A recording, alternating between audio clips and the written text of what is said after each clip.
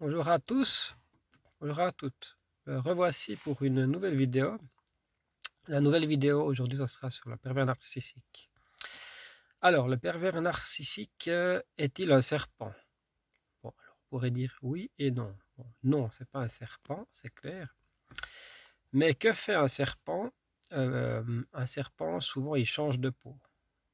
Mais par contre, il y a quelque chose qui ne change pas. D'après vous, qu'est-ce que c'est qui ne change pas chez le serpent Même qui change de peau. Eh ben, c'est très simple.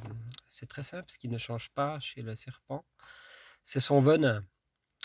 Alors, c'est exactement comme le pervers narcissique ou la pervers narcissique, parce qu'à but pratique, euh, j'utilise le masculin, mais ça peut être aussi le féminin. Une femme aussi peut être perverse narcissique.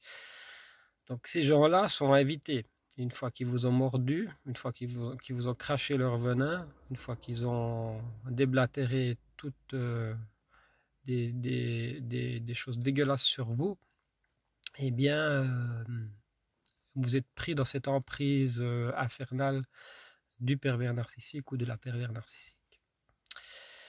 Pour sortir de l'emprise d'un pervers narcissique, comment est-ce qu'il faut faire? Eh bien, il faut, il faut s'imposer. Alors, c'est pas toujours évident parce que justement, vous êtes sous l'emprise du pervers narcissique ou de la perverse narcissique. Alors, pour sortir de l'emprise, il faut, il faut essayer de gagner le maximum de confiance en vous. Et pour ça, bah, vous pouvez noter ce qui se passe bien, si c'est au niveau du couple.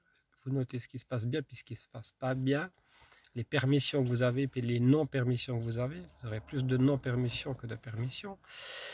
Enfin voilà, c'est un engrenage infernal d'être avec ces gens-là. C'est des personnes hautement toxiques, anxiogènes. Donc à éviter le plus possible, à éviter vraiment, euh, si vous voyez, si vous sentez, écoutez votre sixième sens. Enfin, on a tous un peu un sixième sens.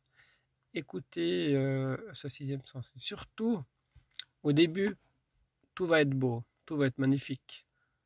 Et c'est ça le piège. Le, piège, c'est ça, c'est qu'au début, tout sera parfait. Il va, hum, il va être en connexion totale avec vous. Mais cette connexion, euh, elle va être que de courte durée. Parce qu'après, ça va être l'enfer. Ça va être l'enfer, justement, de, de, la dénigration. Ouais, il, va, il va vous dénigrer, il va vous rabaisser, il va vous humilier. Il va vous faire la totale. Ainsi que la rage narcissique. La rage narcissique, c'est une colère incontrôlée une colère qui n'est pas normale. Euh, une personne normale peut prendre une colère de 5-10 minutes grand maximum, mais une personne narcissique, c'est des colères euh, puissance 1000. Donc voilà, vraiment à éviter ce genre de personnes. Donc euh, voilà ce que je voulais vous dire un peu sur le narcissique. Les serpents changent de peau, mais pas de venin. Alors, c'est ça la comparaison avec eux. Voilà. Je vous remercie tous et toutes de m'avoir suivi. Et je referai encore une vidéo cette semaine. Merci beaucoup. Au revoir. Merci.